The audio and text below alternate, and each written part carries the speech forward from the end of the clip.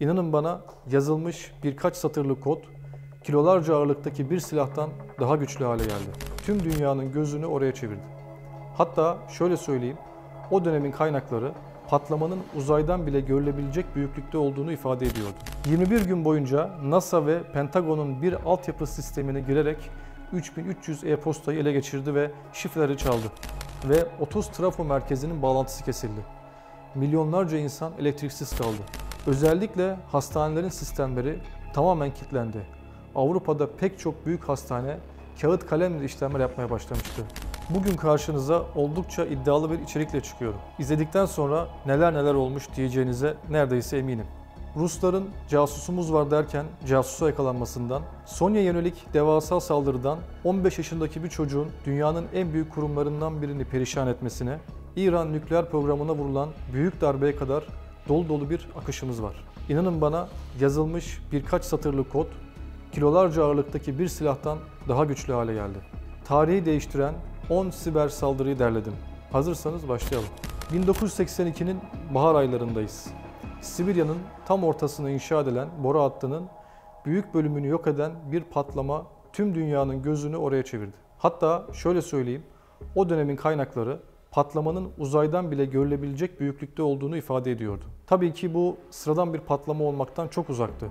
Çünkü boru hattı Sovyetler Birliği'ne yılda 8 milyar dolarlık bir petrol geliri getirmesi üzerinden tasarlanmıştı. CIA buna müdahale ettiğini yıllar sonra açıkladı. Detaylara geçeyim. Tüm hikaye KGB şeflerinden Albay Vladimir Vetrov ile başlıyor. Bu albayın görevi Batı teknolojilerini çalıp Sovyetlere iletmek. Ancak Vetrov'un tek görevinin bu olmadığı daha sonra ortaya çıkıyor. Kendisi Farewell Dossier kod adlı bir ajan. 1981'de 4000 sayfadan daha fazla gizli Sovyet belgesinden oluşan koleksiyonu Fransız istihbaratına gönderen isim de o. Bu sayfalarda ilginç bir detay var. İstek listesi. Listede Sovyet istihbaratının en çok aradığı teknolojiler mevcut. O dönemler Sovyetler Birliği gelişmiş kontrol sistemlerine ihtiyaç duyuyor. Yani bir yazılım arıyorlar. Yetkililer de bu yazılım için ABD'den size vermeyiz cevabı aldıktan sonra özel bir ekiple Kanada'dan bu bilgileri çalmaya karar veriyor. Tabi hesap edemedikleri bir şey var. Ajan Vetrov. Ajan Vetrov, Rusların oraya neden ve nasıl sızdığını Amerikalılara iletiyor. CIA de Kanadalılarla işbirliği yapıp süreci başlatıyor. Zamana göre veya fonksiyona göre tetiklenen ve adına mantık bombası denilen bir zararlı yazılım o dönemlerde çok bilinmeyen bir saldırı aracıydı. Siber saldırı aracı olarak kullanılan mantık bombası boru hattındaki pompaları, türbinleri ve valfleri çalıştıracak ve pompa hızlarını sıfırlamak için belli bir zamandan sonra kontrolden çıkacak şekilde programlandı. Sonuç uzaydan görülebilen büyük bir patlama ve yangın. Bu olay siber saldırılar tarihinde ilk siber operasyon olarak sıklıkla anlatılır. Siber güvenlik literatüründe herkesin kabul ettiği bir operasyon olsa da henüz doğrulanmış bir eylem değil. Ancak bazı itiraflar ve veriler hadisenin doğru olma ihtimalini oldukça arttırıyor. Morris solucanı 2 Kasım 1988'de MIT'deki bir bilgisayardan kötü niyetli olarak zekice hazırlanmış bir program internet alemine bırakıldı. Bu solucan çok geçmeden olağanüstü bir hızla yayılmaya ve bilgisayarları durma noktasına getirmeye başladı. 24 saat içinde o sırada internete bağlı olan yaklaşık 60 bin bilgisayardan tahminen 6 bini saldırıya uğradı. Sahte program, ulusal elektronik ağını oluşturan enstitüler ve kamu ve özel araştırma merkezlerindeki sistemlere bulaştı. Zarara uğrayanlar arasında Harvard, Stanford, John Hopkins, NASA ve Lawrence Ulusal Laboratuvarı vardı. Hayati önem taşıyan askeri ve üniversite işlevleri yavaşladı. E-postalar günlerce ertelendi. ABD çapındaki kesin hasarları ölçmek zordu. Ancak tahminler milyonlarca dolarlarla ifade ediliyordu. Olaydan kısa süre sonra FBI soruşturma başlattı. Soruşturma sonucunda suçlunun Robert Morris adlı 23 yaşındaki Cornell Üniversitesi yüksek lisans öğrencisi olduğu tespit edildi. ABD mahkemeleri çok geçmeden bu eylemin cezasını kesti ve Morris bilişim suçlarından mahkum edilen ilk kişi oldu. Ancak Morris hapis cezasından kurtuldu. Bunun yerine para cezası, denetimli serbestlik ve 400 saat toplum hizmeti cezası aldı.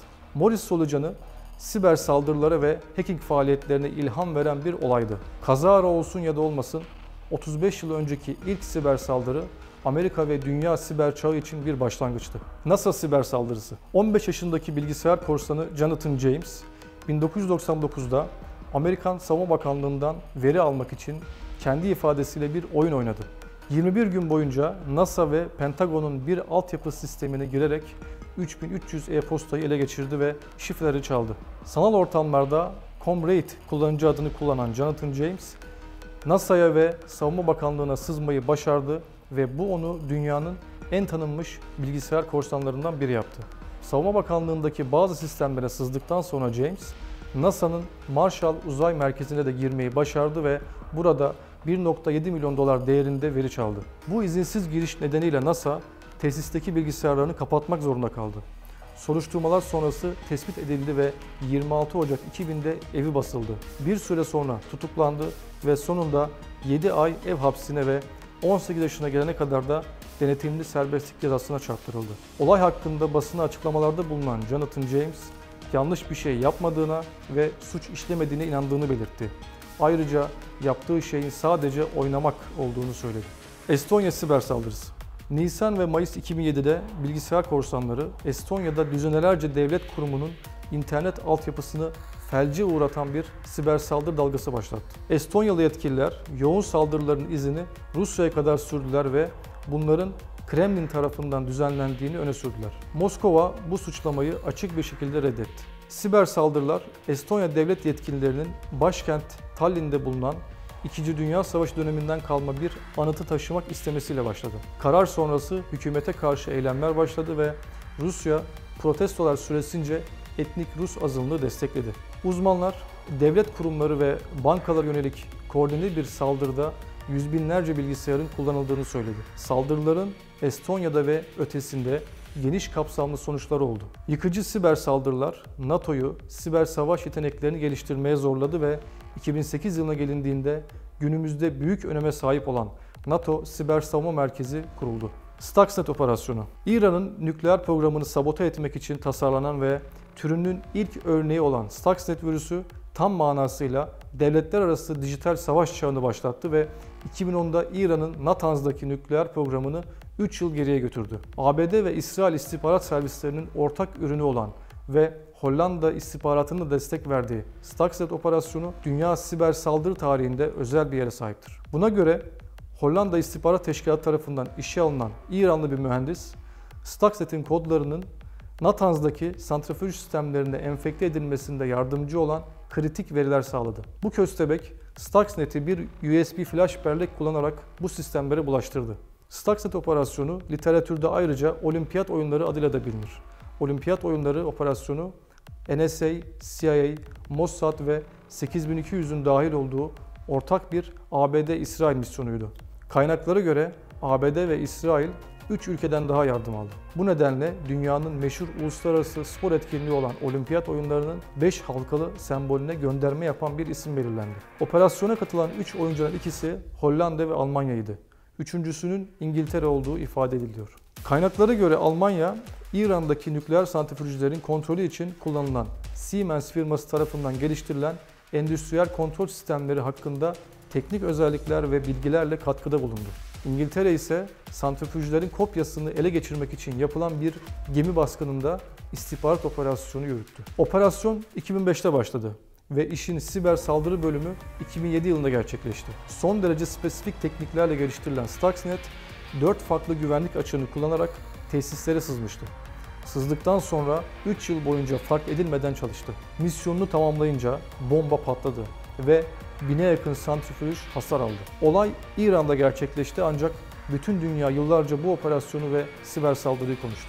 Sony Pictures siber saldırısı. 24 Kasım 2014'te Sony çalışanları bilgisayar ekranlarında sırıtan kırmızı kafa taslarıyla karşılaştı. Ne olduğunu anlam veremeyen çalışanlar durumu ilgili birim aktardılar. İncelemeler sonucu kendilerini barış muhafızları olarak tanımlayan hackerların sistemlere sızdıkları ve dosyaları şifreledikleri tespit edildi. Muazzam miktarda veri ele geçiren hackerlar şirketin sabit disklerindeki verileri de sildi.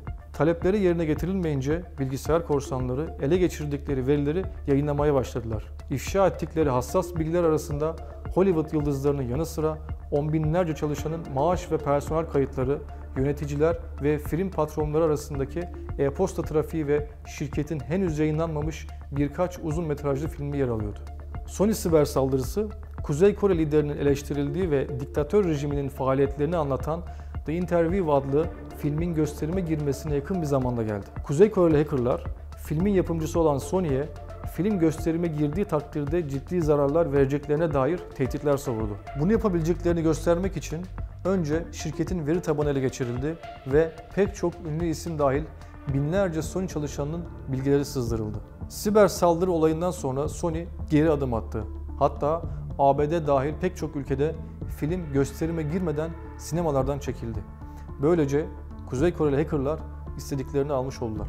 Ukrayna siber saldırısı 23 Aralık 2015 tarihinde Ukrayna büyük bir elektrik kesintisi yaşadı.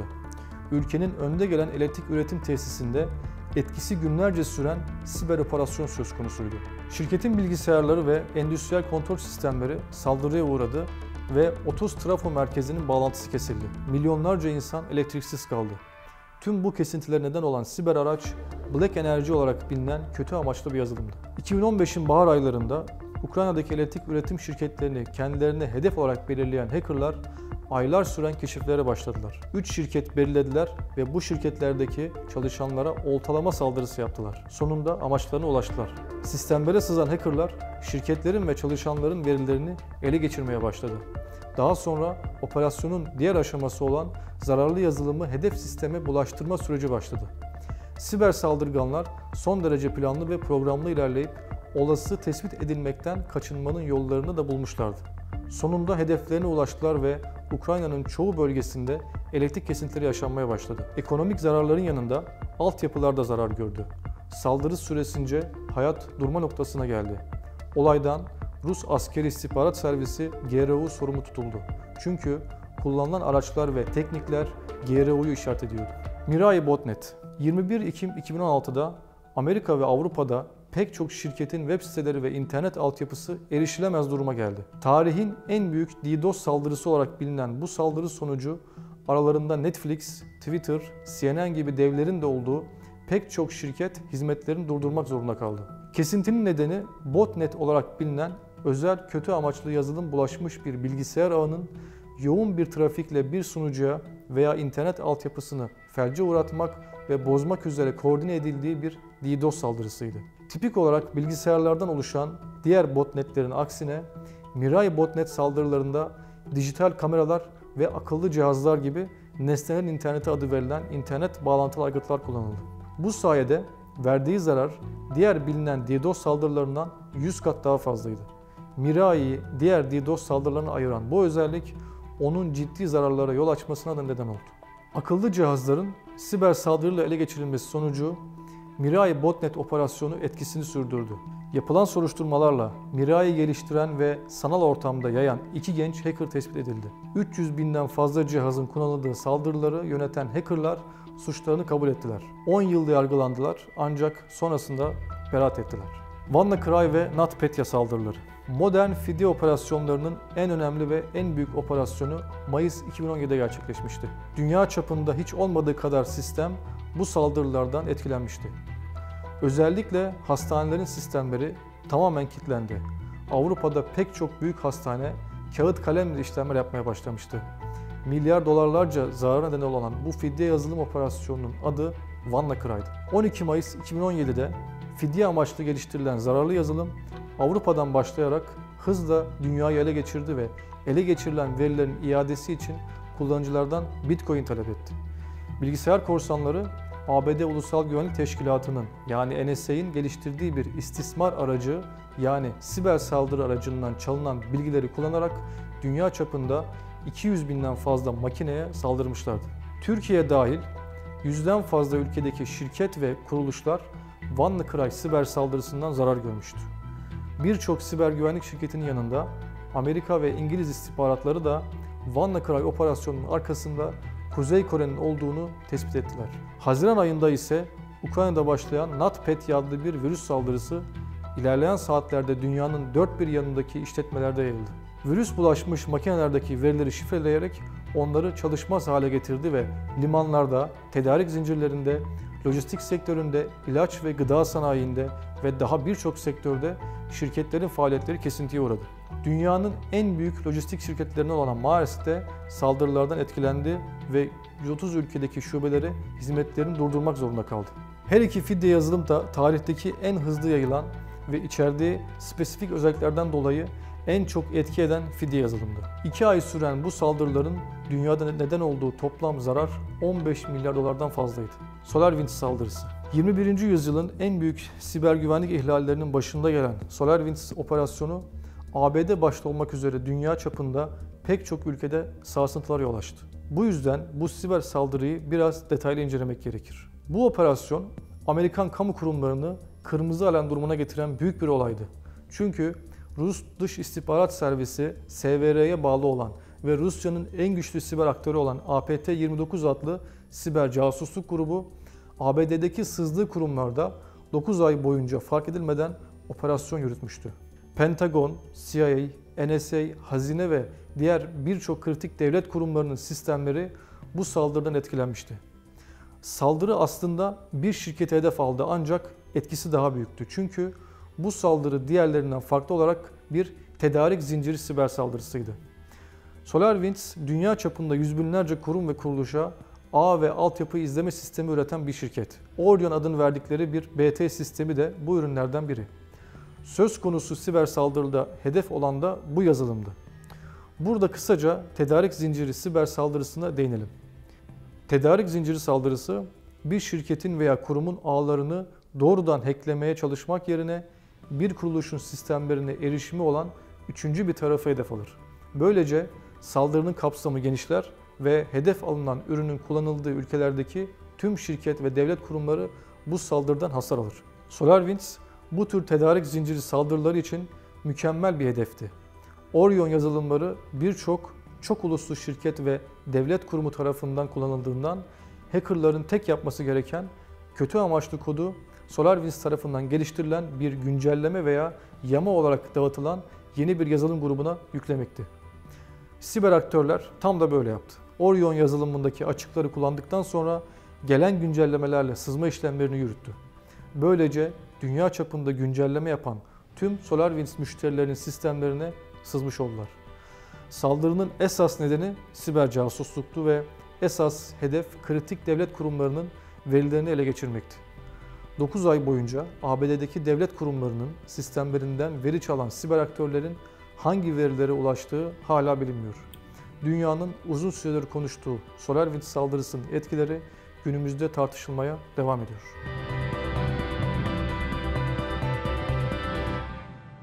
İnanın bana yazılmış birkaç satırlık kod kilolarca ağırlıktaki bir silahtan daha güçlü hale geldi. Tüm dünyanın gözünü oraya çevirdi. Hatta şöyle söyleyeyim, o dönemin kaynakları patlamanın uzaydan bile görülebilecek büyüklükte olduğunu ifade ediyordu.